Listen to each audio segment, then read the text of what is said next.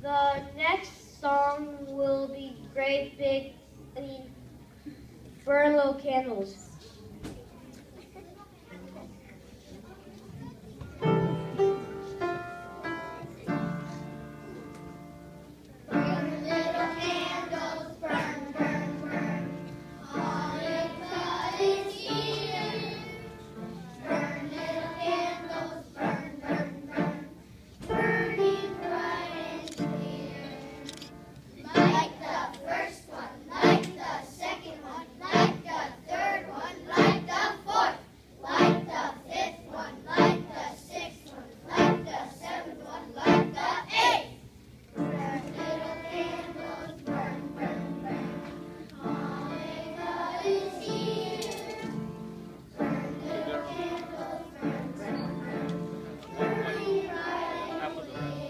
thank you